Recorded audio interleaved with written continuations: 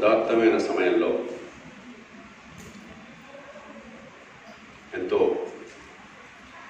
స్ఫూర్తిదాయకమైన ప్రాంగణంలో మీ అందరితో కొంతసేపు అవకాశాన్ని ఇచ్చినందుకు మీ అందరికీ ధన్యవాదాలు ఇవాళ ఉదయం రెండు గంటలకి మెలకు వచ్చి దుర్గాబాయి దేశముఖ్ గారి జీవిత విశేషాలను వెళ్ళి ఇంకోసారి చదవడం జరిగింది. వారి పుస్తకంలో కొన్ని భాగాల్ని అలాగే దేశ్ముఖ్ గారి పుస్తకంలో కొన్ని భాగాల్ని వారి జీవితంలో కొన్ని కీలకమైన ఘట్టాలు ఓ అద్భుతమైనటువంటి మహనీయుడు ఎంతమంది గొప్ప నాయకుల్లో ఉన్న శక్తి సామర్థ్యాలు వెలికి తీశాడు ఆ మహాత్ముడే లేకపోతే ఎక్కడో సంప్రదాయంలో ఒక ఛాందస కుటుంబంలో పుట్టినట్టు దుర్గాబాయి గారు ఎనిమిదేళ్ళ వయసులో పెళ్ళైపోయిన దుర్గాబాయి గారు బహుశా ఈ దేశంలో లక్షలాది మంది శక్తి సామర్థ్యాలు ఉన్నా కూడా వెలికి తీయని పరిస్థితుల్లో పేటికాంతరిక రత్నాలుగా మగ్గిపోయినట్లుగా వారి ముందుకు వెళ్ళారు? ఒక రకంగా దుర్గాబాయి గారి జీవితం మహాత్మా గాంధీ నాయకత్వానికి ఆ తరం ఆయన స్ఫూర్తితో ఈ దేశ నిర్మాణం కోసం చేసినటువంటి కృషికి గొప్ప నిదర్శనం. నా దృష్టిలో గాంధీజీ ఈ దేశాన్ని స్వతంత్రాన్ని తీసుకురాలేదు. ఆయన లేకుండా స్వతంత్రం వచ్చేది. చాలా దేశాలకి అన్ని దేశాలకు స్వతంత్రం వచ్చింది తెల్లవాడు ఇక నేను భరించడానికి పారిపోయాడు. పరిస్థితులు మారిన కారణంగా కానీ ఆయన చేసిన నిజమైన గొప్ప పని ఏమిటంటే జాతి నిర్మాణం. ఎవ్వరూ ఊహించనటువంటి సాధ్యం కాదనుకున్నటువంటి ఒక మహత్కార్యాన్ని ఆయన అవలేరుగా సాధించగలిగాడు. ప్రపంచ చరిత్రలో ఇన్ని కులాలు ఇన్ని మతాలు ఇన్ని ప్రాంతాలు ఇన్ని భాషలు ఇన్ని వైవిధ్యాలు ఉన్నటువంటి దేశం మరొకటి. ఏనాడు కూడా మనందరూ కూడా ఒక దేశంగా మనగలిగారు. భౌగోళికంగా ఉత్తరాన హిమాలయాలు దక్షిణ హిందూ మహాసముద్రం తూర్పు పశ్చిమాల్లో సముద్రాలు ఇవన్నీ ఉన్నా కూడా ఒక దేశంగా ఒక జాతికి ఏనాడు మనగలిగారు.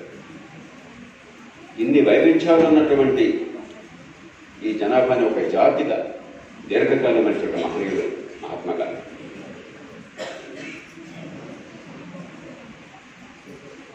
ఇక దుర్గాబాయి దర్శనం గారి గురించి చెప్పాలంటే నాకు ఎప్పుడు రెండు విషయాలు గుర్తుకొస్తాయి. తెలుగు వాళ్ళకు ఒక అపప్రథం ఉన్నది. ఆంధ్రులు ఆరంభ సూర్యులు అని చెప్పాను ఏదన్నా కార్యక్రమం హడావిడిగా ప్రారంభం చేయడం ఆ తర్వాత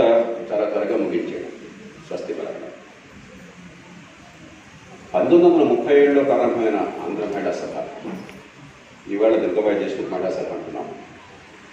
అలాగే దానికి అనుబంధంగా ఏర్పడిన ఈ సంస్థలన్నీ.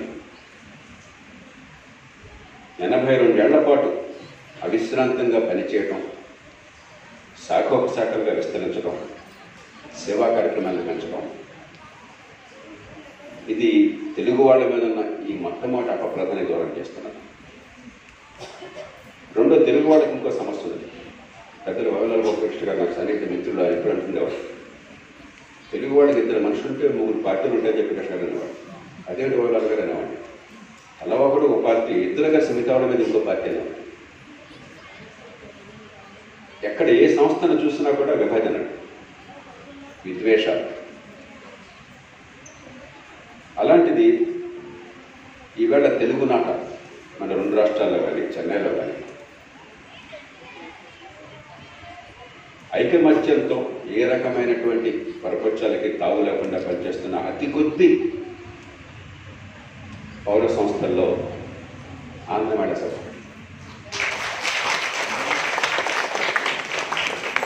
ఈ రెండు చాలు అన్న ఉడికిందని తెలుసుకోవాలంటే మనం అన్నంతా చూడక్కర్లే మనకు సామెత ఉన్నది. రెండు మెతుకులు చూస్తే చాలు ఈ రెండు మెతుకులు బట్టి చూస్తే దీని వ్యవస్థాపకుల ఔన్నత్యం వ్యక్తిత్వం ముందు చూపు ఆర్ద్రత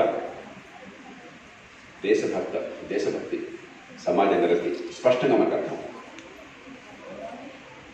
మహాత్ముడి నూట యాభై జన్మదినోత్సవ సందర్భంగా ఆయన స్మృతికి అంజలి కట్టిస్తూ ఆయన స్ఫూర్తితో తెలుగు ప్రజలకి భారత జాతికి అవిశ్రాంతమైన సేవలందించిన దుర్గా వైదేశ్వరి గారి శ్రద్ధాంజలి ఘటిస్తూ ఈవేళ ఉన్నటువంటి అంశం.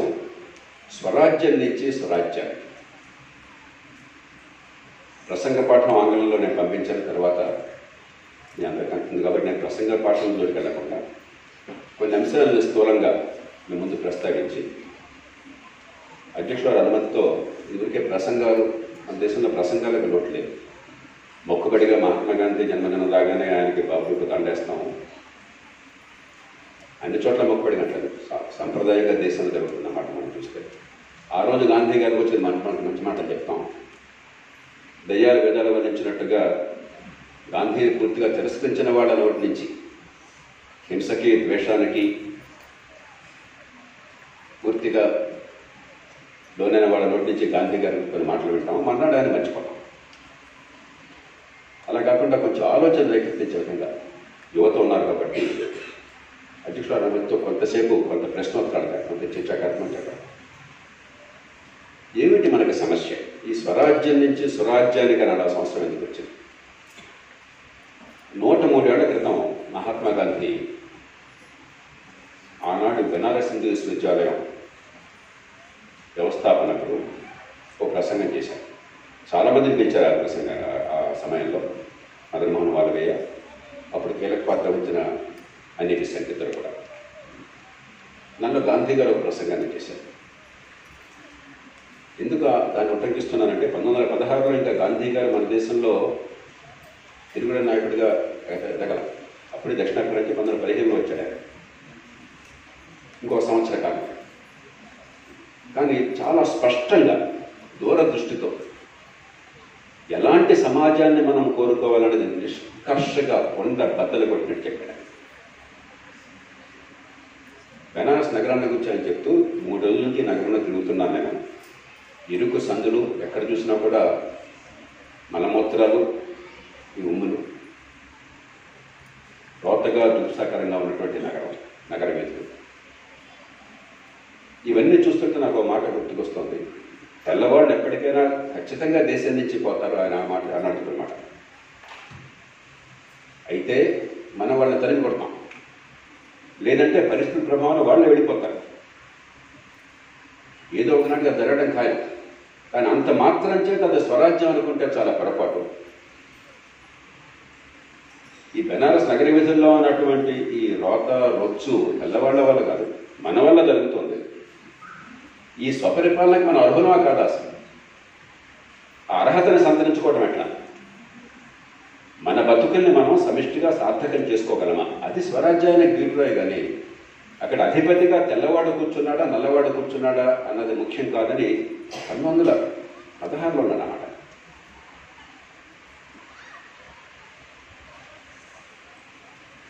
పంతొమ్మిది వందల ముప్పై దాకా పంతొమ్మిది వందల ఇరవై తొమ్మిది ముప్పై దాకా కాంగ్రెస్ సంస్థ అసలు స్వతంత్రానికి పిలుపునివ్వడం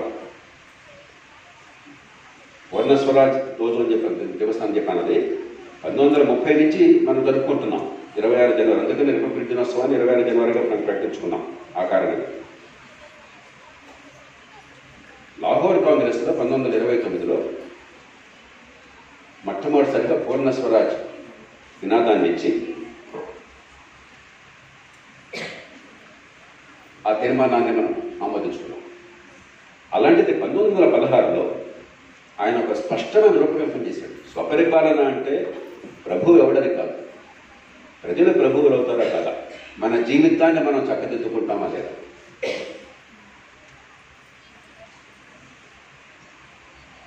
పరిస్థితుల ప్రభావం వల్ల కానీ మహానాయకుల పోరాటం వల్ల కానీ చివరి స్వప్నం వచ్చింది.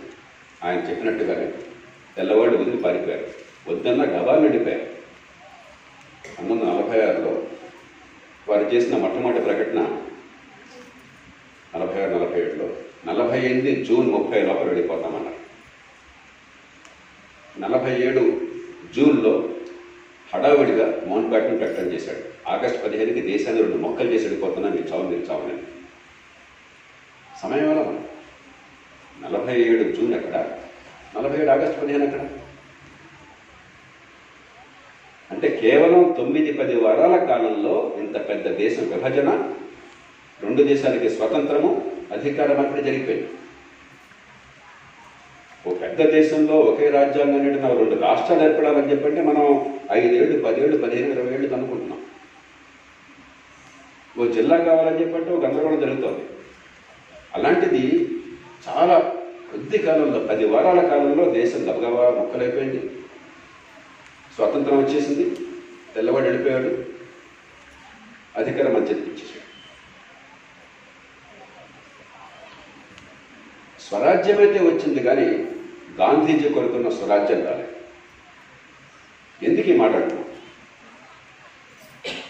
నిజంగా నిజమైన ప్రజాస్వామ్యము స్వరాజ్యము ఉండాలంటే ఆరు లక్షణాలు కావాలి.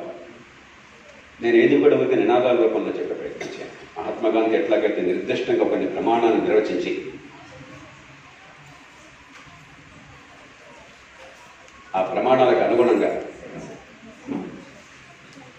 విశ్లేషణ చేశారు. మనం ఆ రకంగా శాస్త్రీయ విశ్లేషణ చేయాలి. మొట్టమొదటిది స్వరాజ్యంలో నిజమైన స్వరాజ్యంలో మనకు కావాల్సింది స్వపరిపాలన ఓటు. ఉంది. ఏ మేరకు ఉందో తర్వాత రెండోది స్వేచ్ఛ. మన దేశంలో ఉన్నంత స్వేచ్ఛ ప్రపంచంలో కొద్ది చోట్ల ఉండాలి.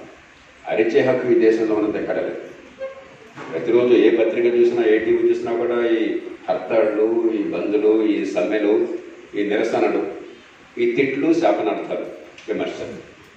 దానికి లోటు. కానీ ఈ రెండు ఉంటే అది నిజమైన స్వరాజ్యం కాచాలదు స్వరాజ్యం కాచాలి.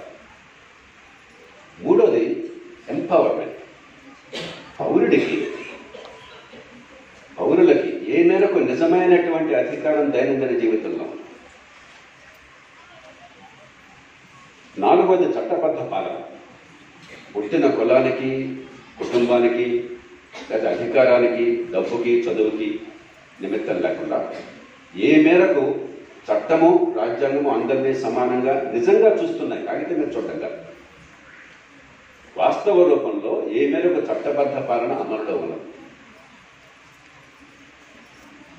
ఐదు ఎంత గొప్ప వ్యవస్థ ఒక కుటుంబం నుంచి ఒక దేశం దాకా పొరపాట్లు జరుగుతూ ఉంటాయి. దీని అద్భుతమైన మనుషులైనా కూడా చూడండి మహాత్మా గాంధీ జీవితంలో ఆయన కూడా తప్పులు చేశారు. అది మానవ సహజం ఎవరో కూడా రేపు జరగబోయేదాన్ని ఖచ్చితంగా ఊహించిన నిర్ణయాలు తీసుకోలేరు కానీ స్వయం దిద్దుబాటు శక్తి ఆ సమాజానికి ఉండాలి. పొరపాటుని వేగంగా ఎక్కువ నష్టం లేకుండా సమాజ హితం కోసం సరిదిద్దే శక్తి సామర్థ్యాలకి ఆ సమాజంలో ఆ వ్యవస్థలో చోటు ఉందా లేదా? ఆరు అన్ని దేశాల్లో అవసరం ముఖ్యంగా మన మన దేశంలో అత్యవసరం. అన్ని వర్గాల మధ్య విభిన్న ప్రయోజనాలు ఉంటాయి విభిన్న సిద్ధాంతాలు ఉంటాయి ఆలోచనలు ఉంటాయి మహాత్మా గాంధీ జీవితం అంతా పోరాడి సాధించిన విజయం ఏమిటంటే మనందరి మధ్య ఒక సంభాషణ తీసుకొచ్చాడు ఆయన ఒక డైలాగ్ హిందూ ముసల్మాన్లు కావచ్చు అగ్ర కులాలు అణగారిన వర్గాలు కావచ్చు ఉత్తరాది దక్షిణాది కావచ్చు పట్టణాలు గ్రామాలు కావచ్చు డబ్బున్న వాళ్ళు డబ్బు లేని వాళ్ళు కావచ్చు వివిధ వర్గాల మధ్య సమన్వయాన్ని సాధించడం కోసం నిరంతర సంభాషణ. సంఘర్షణ కాకుండా సంభాషణ. నిరంతర మార్గం ఆయన ఎప్పుడూ ఒక మాట మళ్ళీ మళ్ళీ ఆయన ఒక్కడించేవాడు ఎవరి దగ్గర పూర్ణ సత్యం లేదు? ఆయన ఆత్మకథని సత్య పరిశోధనగా ఆయన వర్ణించినా కూడా సత్యం నాకు పూర్తిగా తెలిసిన మహాత్మా గాంధీ ఏనాడు ఆహ్వానించలేదు. మనందరికీ తెలిసింది పాక్షిక సత్యం మాత్రమే అర్థ సత్యం మాత్రమే. మీకు కొంత సత్యం తెలుసు నాకు కొంత సత్యం తెలుసు. కాబట్టి మీ సత్యం పట్ల నాకు గౌరవం ఉండాలి నా సత్యం పట్ల మీకు గౌరవం ఉండాలి. ఇద్దరం సంభాషించుకోవాలి ఒకరి నుంచి ఒకరు నేర్చుకోవాలి. రాజీ పడాలి. సహజీవనానికి సిద్ధపడాలి. ఒకళ్ళొకళ్ళు గౌరవించుకోవాలి. ఆ మౌలికమైనటువంటి ప్రక్రియ ద్వారానే ఈ దేశంలో ఐక్యతలను సాధించగలిగాం. అలా కాకుండా సమాజం మేము వేరు మీరు వేరు. మన సమస్యల మొత్తానికి పరాయ వాళ్ళు కారణం. పరాయ కులం కావచ్చు పరాయ మతం కావచ్చు పరాయ భాష కావచ్చు పరాయ ప్రాంతం కావచ్చు పరాయ పార్టీ కావచ్చు. అన్న చర్చ వచ్చినట్టయితే సమాజంలో విద్వేషాన్ని నింపి ఇతరుల పట్ల కనీసమైనటువంటి సహనము వాళ్ళ మాట మీద ఓపిక లేకపోతే అది ప్రజాస్వామ్యం కాదు స్వరాజ్యము కాదు ఈ ఆరు ప్రమాణాలు మనకు కావాలి. స్వేచ్ఛ ఉంది ఓటు ఉంది తప్ప మిగతా ప్రమాణాలు చాలా బలహీనంగా ఉన్నాయి లేదా లేవు. అందుకు స్వరాజ్యాన్ని గురించి అవసరం. ఎప్పుడైతే స్వేచ్ఛ ఓటు వాటితో పాటు అధికార కేంద్రీకరణ మన స్వరాజ్యం అనబడే దానిలో భాగమైన నిజమైన స్వరాజ్యం కాలేదో ఈ దేశంలో ప్రజాస్వామ్యంలో మూడు భయంకరమైనటువంటి అపశృతులు దొరుకున్నాయి. తెలుగునాట దక్షిణాది రాష్ట్రాల్లో ఉత్తరాదిలో చాలా రాష్ట్రాల్లో మరింత బలంగా వీటిని చూస్తున్నాం. మొట్టమొదటి ఓట్ల కొనుగోలు. మనందరికీ తెలుసు. మన జరిగిన ఎన్నికల్లో తెలుగునాట రెండు రాష్ట్రాల్లో కావచ్చు కర్ణాటకలో కావచ్చు ఇటీవల జరిగినటువంటి లోక్సభతో పాటు ఉప ఎన్నికల్లో తమిళనాడు కావచ్చు ఇతర రాష్ట్రాల్లో కావచ్చు ఎన్ని కోట్ల రూపాయలు ఖర్చు అవుతుంది ఓట్ల కొనుగోలు ఒక ధనిక స్వామ్యంగా ఒక దోపిడీ రాజ్యంగా తయారు చేస్తే అది ప్రజాస్వామ్యం అంటే అది అపచారం. మహాత్మా గాంధీ స్మృతికి అపచారం. రెండోది లేదంటే మనుషుల్ని మనం ఓట్లమ్మే వ్యవహారాలుగా తయారు చేసి ఓట్లమ్మే వ్యవహారాలుగా తయారు చేసి ఓట్ల కొనుగోలే కాకుండా తాత్కాలిక ప్రలోభాలకి ఆయులాలకి లొంగదీస్తున్నాం వాళ్ళ బానిసత్వాన్ని కొనసాగిస్తున్నాం. గాంధీజీ టాలిస్మన్లో ఆయన మంత్రులు అన్నాడు మారుమూల ఊరిగుడుసులో ఉన్న సామాన్యుడి జీవితాన్ని చూడు అని వాడికి చేయందించు అల్ల ఆయన. వాడికి సాయం చేయాల వాడి జీవితం మీద వాడికి అధికారాన్ని ఇవ్వు. తన భవిష్యత్తును నాకు తాను నిర్దేశించిన అవకాశాన్ని ఇవ్వు. Give him a measure of control over his life and destiny స్వరాజ్యానికి Mahatma Gandhi నిర్వచనం సామాన్యుడికి సాయపడడం కాదు. సామాన్యుడు తన కాళ్ళ మీద తను ఇవ్వడం కోసం అతనికి అవకాశాన్ని ఇవ్వడం. అతని సాధికారమన్న వ్యక్తిగా గుర్తించడం గౌరవించడం అతని సాధికారతని పెంచడం అతని ఆత్మగౌరవాన్ని పెంచడం అతని సెల్ఫ్ రిలయన్స్ని స్వావలంబనాన్ని పెంచడం ఈ దేశంలో జరగడం మన దేశంలో అందున తెలుగునాట మనకున్నటువంటి తాయిలాలు ప్రపంచ చరిత్రలో చాలా అరుదుగా మనం చూస్తాం. కానీ వ్యక్తి జీవితం దీర్ఘకాలంగా బాగుపడటం కోసం తమ కాలంలో మీద కోసం కావాల్సిన అవసరాలని మన దేశంలో నిర్లక్ష్యం చేసినట్టుగా ప్రపంచంలో దాదాపు ఏ దేశంలో నిర్లక్ష్యం చేయడం లేదు. ఇక లక్ష్మి గారు ఉన్నారు. విద్య కోసం మీరంతా అద్భుతమైన పని చేస్తున్నారు కానీ ఈవేళ పాఠశాల విద్యను చూసినట్టయితే ప్రపంచంలో అత్యంత నాసిగా ఉన్న పాఠశాల విద్య మన దేశంలో. అద్భుతమైనటువంటి సాంప్రదాయము సంస్కృతి ఉన్న దేశంలో చదువు కోసం కుటుంబాలు పడిచచ్చే దేశంలో పిల్లల బతుకుల కోసం ఏ త్యాగానికైనా సిద్ధపడే దేశంలో నూటికి యాభై మంది పిల్లలకి పద్నాలుగు పద్దెనిమిది సంవత్సరాల వయసు మధ్య నేను గణాంకాల్ని సాధికారికంగా నేను వాళ్ళ మీ ముందు పెడుతున్నాను. ఇవేమి కాకుండా లెక్కలుగా నూటికి యాభై మంది పిల్లలు పద్నాలుగు పద్దెనిమిది సంవత్సరాల మధ్య గడియారం చూసి సమయాన్ని చెప్పలేదు పద్నాలుగు పద్దెనిమిది సంవత్సరాల వయసు మధ్య. ఇప్పుడు పన్నెండు గంటలు ఏడు నిమిషాలైంది. నూటికి డెబ్బై నాలుగు మంది పన్నెండు గంటలు చెప్పగలుగుతున్నారు గడియారం చూసి. ఆ ఏడు నిమిషాలు చెప్పలేకపోతున్నారు.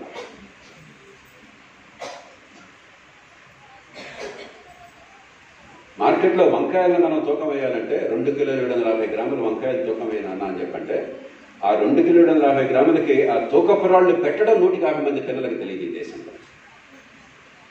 పద్నాలుగు పద్దెనిమిది సంవత్సరాల వయసు మధ్య. ఇంకా చాలా చెప్పచ్చు. అనవసరంగా మన మనసులో విషాదం నింపడం నా ఉద్దేశం కాదు. కానీ వాస్తవ పరిస్థితిని అర్థం చేసుకోకుండా ఈ పరిస్థితిని మార్చే శక్తి మనకు రాదు. కొన్ని ప్రయత్నాలు జరుగుతున్నాయి. ఆంధ్ర మెడసేపు అద్భుతం ప్రయోగం చేస్తున్నారు. లక్ష్మి గారు లాంటి వాళ్ళు జీవితం అంతా కూడా విద్య కోసం అంకితం చేశారు. నిన్న ఈ సమయంలో నేను హర్యానాలో ప్రభుత్వంలో కొంతమందితో కూర్చున్నాను. చాలా చక్కటి ప్రయత్నం జరుగుతుంది చాలా సంతోషపడ్డాను నేను. చాలా కాలం తర్వాత గంటసేపు ఆనందపడ్డ రోజులు. కానీ ఈ దేశంలో జరగవలసినంత పరిస్థితి జరుగుతుంది చాలా తక్కువ. విద్య విషయంలో కానీ ఆరోగ్య విషయంలో కానీ. హైదరాబాద్ నగరంలో డెంగ్యూ చూస్తే చాలు కదా.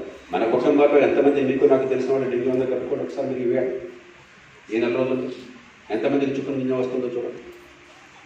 ప్రపంచంలో గర్వించదగ్గ ఏ దేశంలోనూ కూడా ఇంతమందికి ఇంత పెద్ద ఎత్తున ఇన్ని వ్యాధులు సోకటం ఉండదు. ఇవన్నీ నివారించదగ్గ వ్యాధులు అంటు వ్యాధులు ఇంకా గణాంకాలు చాలా చెప్పచ్చు. కాబట్టి తాత్కాలికమైన తైలాలతో జీవితం గట్టే. ఈ రెండు చాలకపోతే ఓట్ల కొనుగోలు చాలకపోతే ఈ తాత్కాలికమైన తైలము చాలకపోతే మన దేశంలో నిరంతరమైన విభజనలు ఉన్నాయి.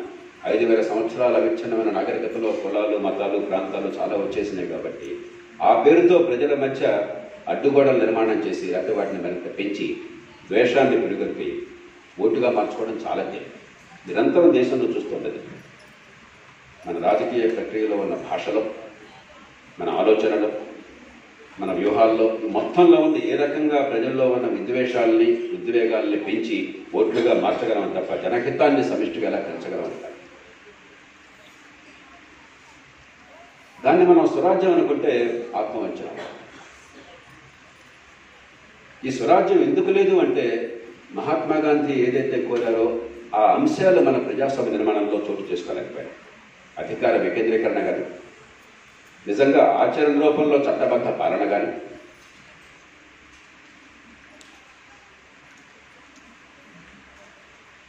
స్వయం దిద్దుబాటు శక్తి జవాబుదారీతనం కానీ? లేకపోతే ఈ వర్గాల మధ్య సామరస్యపూర్వకమైన పరస్పర గౌరవంతో కూడిన సంభాషణ సంప్రదింపులు అవగాహన కానీ? ఇవన్నీ ఎప్పుడైతే కొరబడినాయో ఈ ప్రజాస్వామ్యం కొరపట్టు పొరపాటు చోటు చేసుకున్నాయి. భారతీయులు ప్రజాస్వామ్యానికి ప్రపంచంలో ఎవరికీ తక్కువ వాడు మనకే అర్హత ఉన్నది మనకే ఆ శక్తి ఉన్నది. మన కుటుంబాలు లేకపోతే మనకున్నటువంటి ఉన్నటువంటి బాంధవ్య సంస్థలు లేకపోతే మరెన్నో సాంప్రదాయంగా మనకు వస్తున్నటువంటి చరిత్రలో వస్తున్నటువంటి ఎన్నో అవశేషాలు లేకపోతే చరిత్రలో మన అనుభవాలు చోడుల కాలంలో ఉత్తర వీరుల ఇన్స్పిరేషన్ చూడండి. లేకపోతే లిచ్చావుల కాలంలో కానీ లేకపోతే ఇతర రిపబ్లికన్ కాలంలో బుద్ధుల కాలంలో చూడండి. మనకు కూడా చారిత్రక అనుభవం ఉన్నది. కానీ అనుభవాన్ని మన ప్రజాస్వామ్య నిర్మాణంలో ఆచరించలేకపోయినాం ఈ నేపథ్యంలో మనం ఇవాళ స్వరాజ్యం గురించి ఒక స్పష్టమైనటువంటి అవగాహనతో కూడినటువంటి నిర్దిష్టమైన కార్యక్రమాన్ని చేపట్టకుండా అతి కొద్ది కాలంలో ఆ ఫలితాలను మనం వ్యవస్థాగతంగా సాధించకుండా మహాత్మా గాంధీ కన్న కళల్లో సగాన్ని కూడా మనం సాకారం చేయాలి. నూట యాభై వచ్చేస్తూ వచ్చేసింది. నూట డెబ్బై ఐదు వస్తుంది.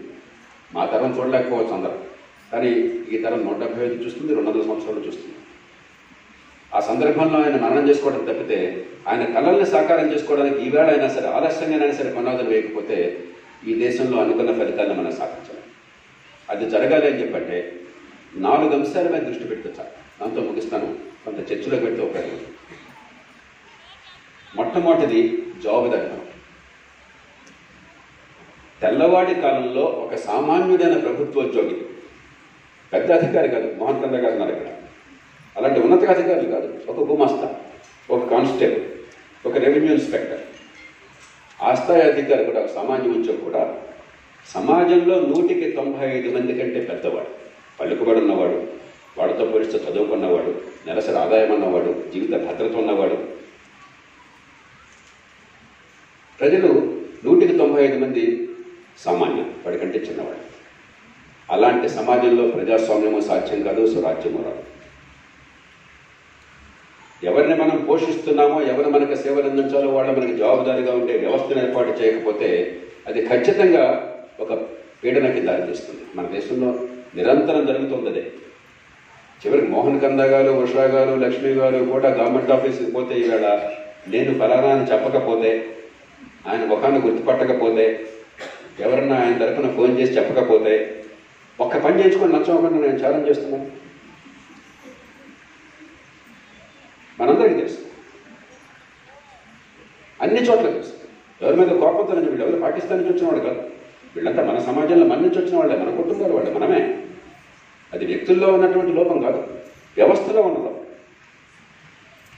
విశృంఖలమైన అధికారం ఎవరికున్నా సరే జవాబుదారితనం ఎవరికి లేకున్నా సరే ఖచ్చితంగా మహాత్ముడు కూడా నియంత అవుతాడు అధికారులు కానీ పాల్పడతాడు కాబట్టి సమస్య వ్యక్తుల నైతికతలో కాదు. సమస్య జవాబుదారితనం అనిపించే వ్యవస్థలో అది లేకుండా ఈ దేశంలో పౌరుణ్ణి మనం సారపముని చేయాలి రెండోది చట్టబద్ధ పాలన. కాగితమైన చట్టబద్ధ పాలన అద్భుతంగా ఉంది. కానీ రెండు మూడు అంశాలు. పిల్లలకు కొన్ని అంశాలు తెలియకపోవచ్చు. రెండు మూడు అంశాలు మీరు చూడండి. చాలా తేలిక అర్థమవుతుంది. ఏ మేరకు చట్టబద్ధ పాలన నిజంగా ఉందో ఏ మేరకు అది నీతి పేరుకారు ఎలాగా ఉందో. మన దేశంలో ఇప్పటికి కూడా జైళ్ళలో మగ్గుతున్న వాళ్ళలో నూటికి డెబ్బై మందికి పైగా కోర్టులో శిక్ష పడని వాడు నేర నిర్ధారణ కానివాడు కేవలం పేదరికం కారణంగా బెయిల్ కోసం డబ్బులు ఇవ్వలేని కారణంగా వాడికి పలుకుబడి లేని కారణంగా లాయర్ని పెట్టుకోలేని కారణంగా వాళ్ళు జైళ్ళలో మగ్గుతున్నారు చాలామంది ఒకవేళ వాళ్ళ మీద ఆరోపించిన నేరం నిర్ధారణ అయితే ఎంత శిక్ష పడుతుందో అంతకంటే ఎక్కువ కాలం జైల్లో మగ్గుతున్నారు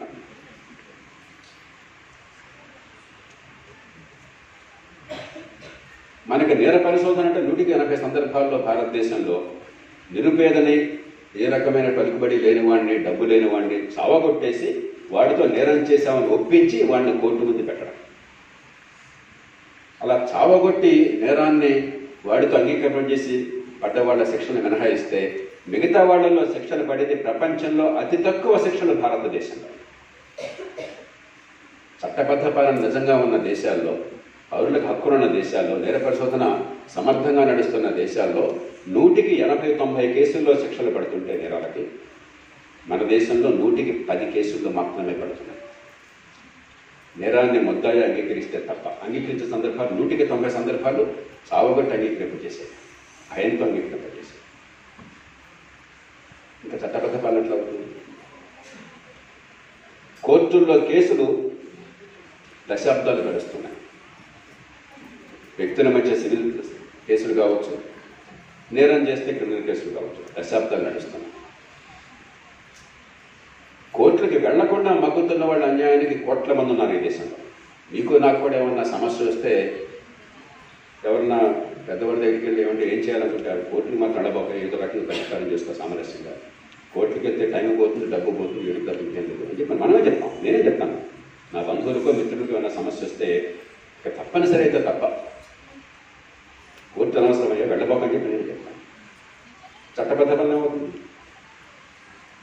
అయితే గండబలం ఖండబలంతో బండన్యాయం అంతోంది లేకపోతే అన్యాయాన్ని దిగమెక్కుని కన్నీళ్ళతో మౌనంగా రోధిస్తున్నాం.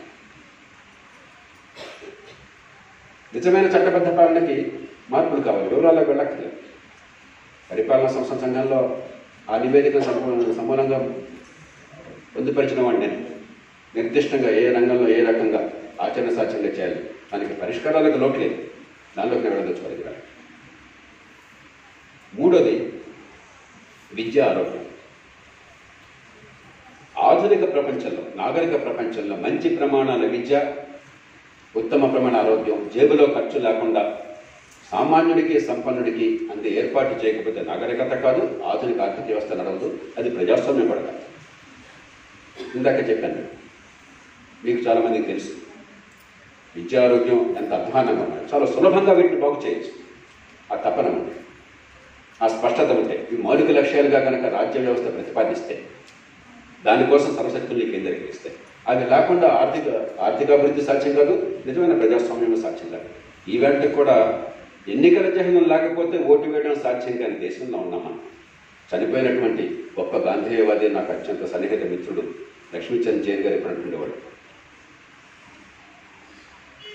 Making making electoral symbol a necessary requirement of electoral democracy, we made our whole democracy symbolic and అన్నాడు ఎవరు కొట్టేస్తున్నామో తెలియకుండా గుడ్డెద్దు చెలో పట్టట్టు ఓటేయడం తప్ప నూటి తొంభై మంది ఈ దేశంలో. ఆ ఓటు వల్ల ఏం జరుగుతుందో అర్థం కాకుండా చేస్తే అదే మీ ప్రజాస్వామ్యం అవుతుంది. విద్య ఆరోగ్యం నాలుగోది. వీటన్నిటికీ కీలకమైనది. అధికారాన్ని సామాన్యుల దగ్గర తీసుకుపోవడం ఎక్కడో ఢిల్లీలోనో హైదరాబాద్లోనో అమరావతిలోనో చన్నపట్నంలోనో బెంగళూరులోనో ముంబైలోనో అధికారం ఉంటే అది స్వరాజ్యం కాదు? తెల్లవాడు రాజ్యం చేస్తున్న కాలంలో సైతం చాలా బలమైన స్థానిక ప్రభుత్వాలు రాజ్యమే. ముఖ్యంగా పట్టణ ప్రాంతాల్లో ఆ రోజుల్లో. మన ప్రకాశం పంతులు గారు ఎప్పుడో పంతొమ్మిది వందల ఏడో సంవత్సరంలో రాజమండ్రి మున్సిపల్ చైర్మన్గా పనిచేశాడు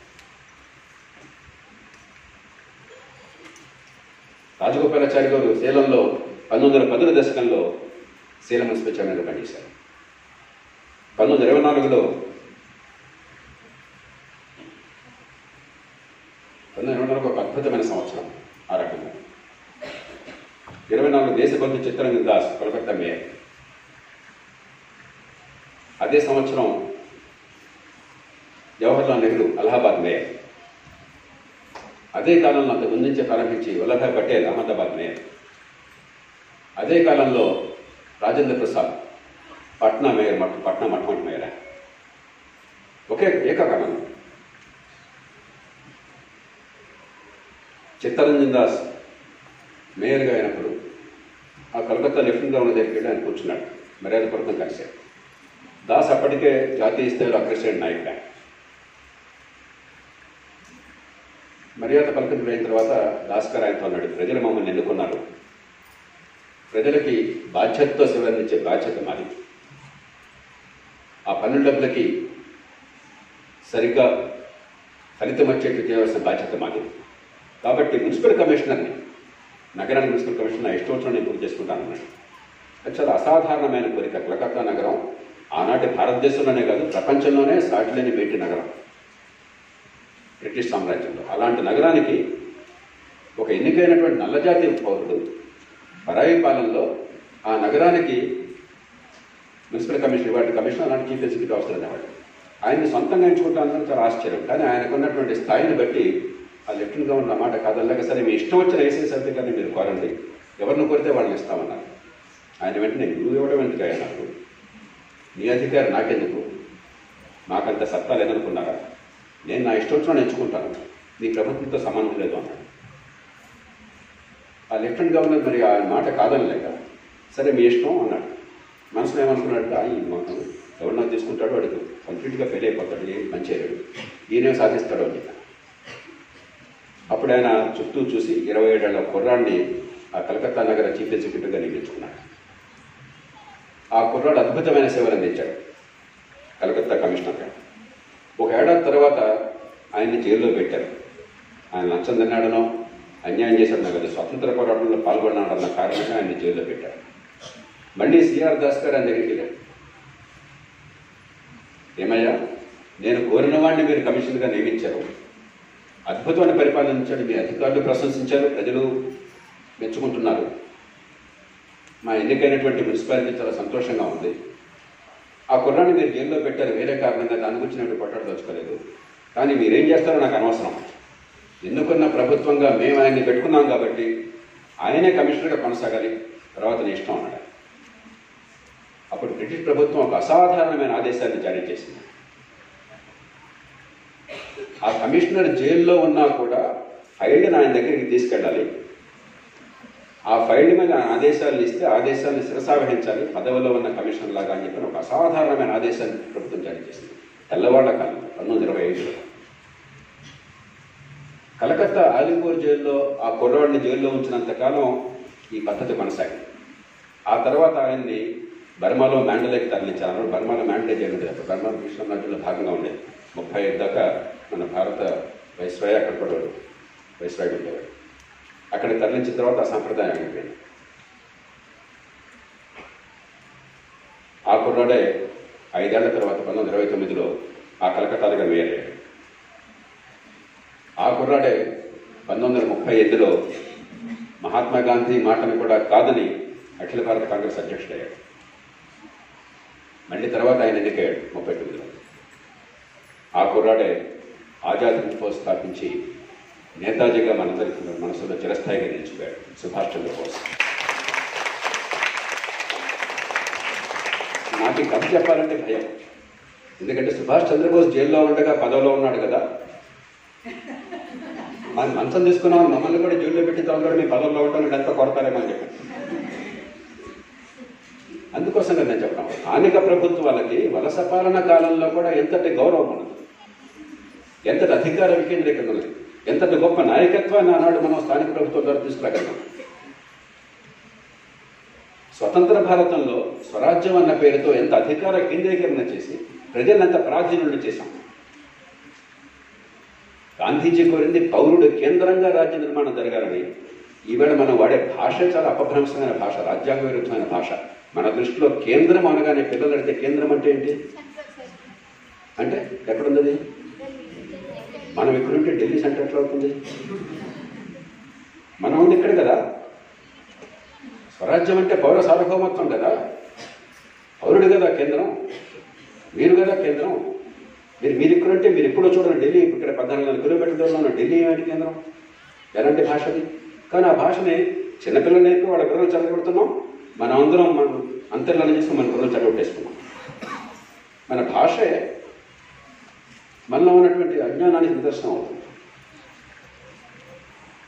కేంద్రం ఎక్కడ లేదు. కేంద్రం మన దగ్గర. మన సమాజంలో మన కుటుంబంలో కేంద్రం ఉంది. మహాత్మా గాంధీ కోరింది మన చుట్టూ రాజ్య నిర్మాణం జరగాలి. మన కోసం రాజ్య నిర్మాణం మన రాజ్య నిర్మాణం మన రాజ్య నిర్మాణం మన కోసం రాజ్య నిర్మాణం మన డబ్బులతో రాజ్య నిర్మాణం మన అవసరాలు తీర్చడం కోసం రాజ్య నిర్మాణం కానీ ఇది నిరంకుశత్వం కాదు దాచరికం కాదు. మనం వాళ్ళ బంటులం కాదు. వాళ్ళ మోచరికం నీళ్ళు తాగేవాళ్ళం కాదు. ప్రపంచంలో ఇంత కేంద్రీకరించిన ప్రజాస్వామ్యం మరొకట్లేదు. ప్రజాస్వామ్యం కాదు. ప్రపంచంలో ఇంత కేంద్రీకరించినటువంటి రాజ్య వ్యవస్థ మరొకట్లేదు. కనీస ప్రమాణమైన రాజ్య వ్యవస్థ చైనా నియంతృత్వ దేశం. అయినా కూడా చైనాలో మనకంటే చాలా వికేంద్రీకరణ ఉంది. స్థానిక ప్రభుత్వాలు చాలా బలమైనటువంటి చైనా ఈ నాలుగు అంశాల్లో మౌలిక మార్పులు తీసుకురాకుండా జవాబుదారీతనం చట్టబద్ధ పాలన విద్య ఆరోగ్యం అధికారాన్ని జనం చుట్టూ తీసుకొచ్చి బాధ్యతతో కూడిన జవాబుదారితనంతో కూడిన స్థానిక ప్రభుత్వాలను బలోపేతం చేయడం. ఎందుకంటే ప్రజాస్వామ్యానికి పాఠశాలలో స్థానిక ప్రభుత్వాలు. నా ఓటు వల్ల ఏం జరుగుతుంది? తప్పు జరిగింది. నేను దానికి బాధ్యత తీసుకుంటాను నష్టం నాకు తెలుస్తుంది. నా తప్పు చేస్తే నిర్ణయం నష్టం నాకు తెలుస్తుంది. ఇది అయ్యాక నేను ఇంటికి వెళ్తాను.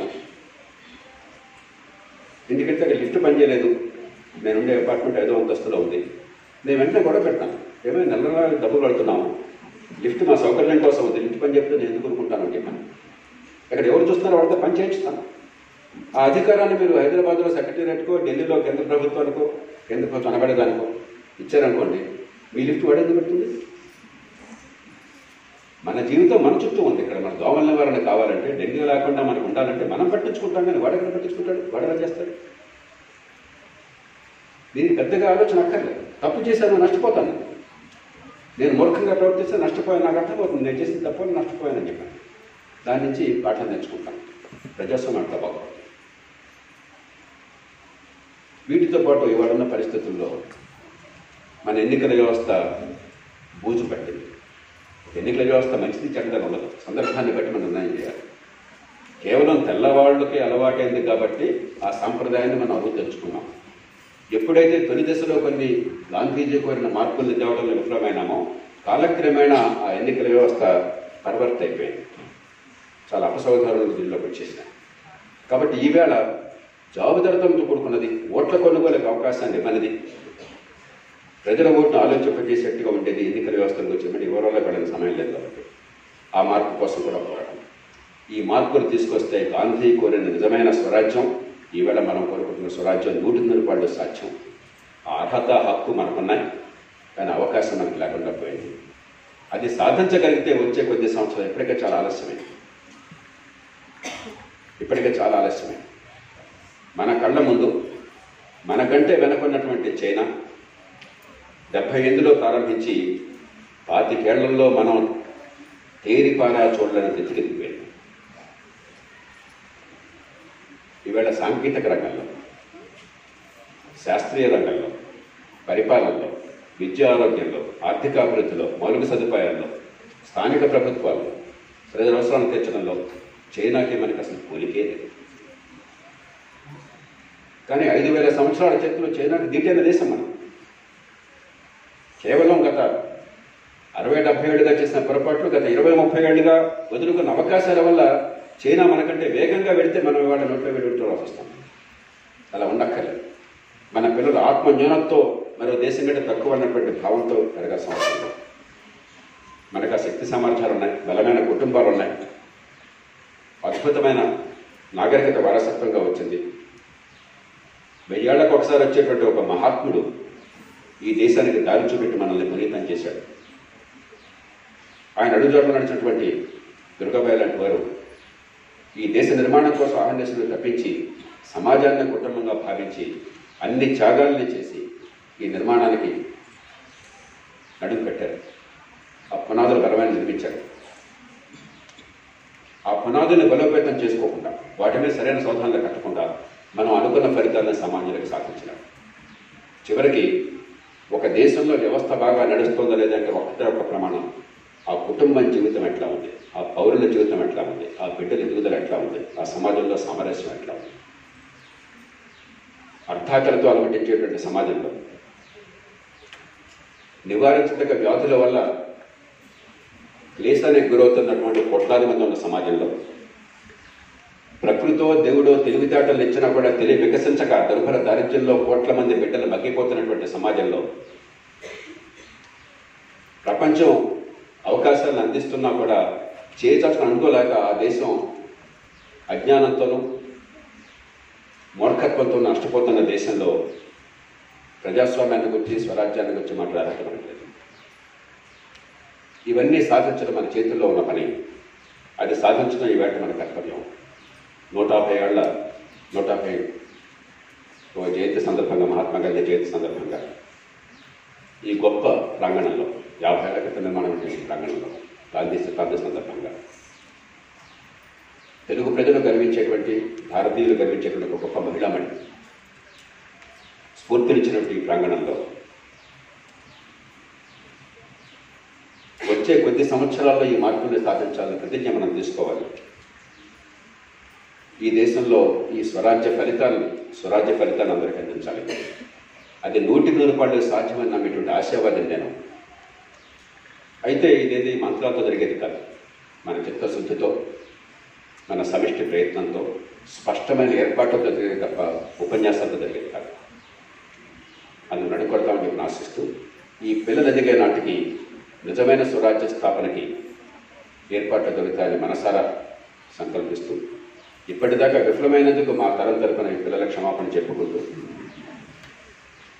మరోసారి బాపు స్మృతికి గద్దెని కట్టిస్తూ మీ ప్రశ్నల్ని చర్చను ఆహ్వానిస్తూ నేను సెలవు తీసుకుంటాను